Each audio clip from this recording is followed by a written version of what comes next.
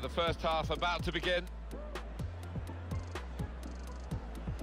Ferreira. It's an excellent cross. First goal is always a crucial goal, and they've just got it.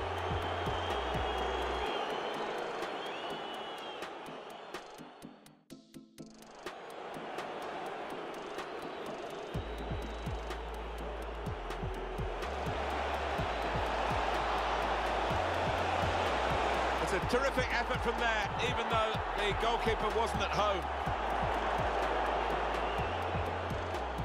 Well, space to get the cross in. Jimenez! That is a terrific header. Unlucky it's just off target. They generated some power on it, and the keeper wasn't getting there.